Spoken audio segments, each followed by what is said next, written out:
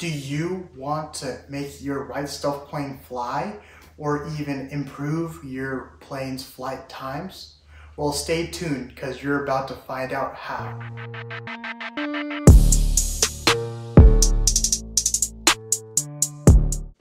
Hey, what's up guys? My name's Faison. If you don't already know me, I've competed at Science Olympiad for the past seven years and I'm here to teach you everything I know to help you kill it at your next competition. Before we get into the video, please be sure to leave a like if you enjoy it, drop a comment down below with any questions or feedback that you have, and subscribe to the channel because I post new videos just like this every Tuesday, Thursday, and Saturday. So if you want to make your plane fly or improve your flight times, then the most basic principle you need to focus on right now is center of gravity. And if you don't already know what center of gravity is, it's basically the point at which an object completely balances out. So for example, if I have this ruler right here and I balance it on my finger, the, the, center of gravity of this object is right here because it's able to completely balance on the point, which is my finger. So you want to find this point on your airplane and make adjustments to your airplane to shift the center of gravity. Now, if now generally when you're building an airplane, you usually want the center of gravity to be roughly under the main wings of your airplane. And here's how you do. The first way that you can change the center of gravity on your airplane is to simply add weight to the front or the back of your plane. Now, if you add weight to the front of your plane, then the center of gravity shifts forward. And when you shift the center of gravity forward, you're able to uh, solve any stalling that your plane may have. However, if you put too much weight onto the front of the airplane, then your plane might begin to nosedive, or it may become too heavy to stay aloft. However, if you put weight on the back of the airplane, the center of gravity shifts towards the tail. And what that does is it accounts or fixes for any nosediving your plane may be experiencing. And similar to the to the previous explanation, if you add too much weight to the back, then your plane may become too heavy for you to fly it and help it stay aloft for a longer period of time.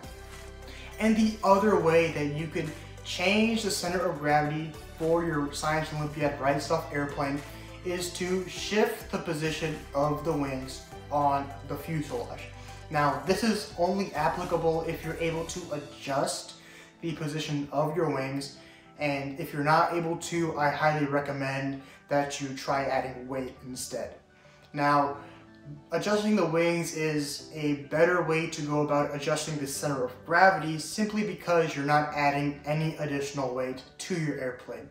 Instead, you're simply shifting the position of the wings on the fuselage. Now, if you shift the position of the wings back towards the tail, then the center of gravity shifts forward as seen by this ruler. And if you shift the center of gravity, or you shift the, the wings closer towards the nose of the airplane, then the center of gravity will shift towards the tail, like so. So if you're able to adjust your wings, then I highly recommend you start playing with where the wings sit on your fuselage until you get to the center of gravity that you're happy with. All right, but what if you already have the center of gravity where it needs to be, but your plane still isn't able to fly? What can you do then? Well, if you're experiencing this phenomenon, then what you can do is increase the incidence angle of your airplane. Now, if your wings are sitting completely straight on the fuselage without any angle, then it's currently sitting at a zero degrees incidence angle. Now, if you increase the incidence angle of your wings, then your wings will be pushing down more air molecules and your plane will have more lift to go upwards. Now, if you add too much incidence to your wing, your plane will begin to stall.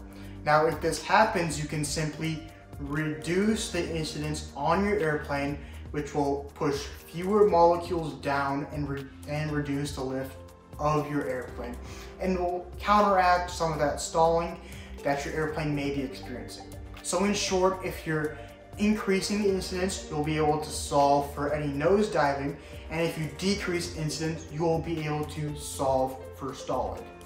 If you want to learn more about how you can make your Science Olympiad Wright Stuff plane fly better, or how you can change the center of, mat of gravity for your Wright Stuff plane, then I highly recommend you check out an article I made covering this exact topic. Now, if you enjoyed the video, please be sure to leave a like, drop any questions or feedback that you have in the comments down below, and subscribe to the channel because I post new videos just like this every Tuesday, Thursday, and Saturday. And I'll catch you guys next time. Stay Unphayzed.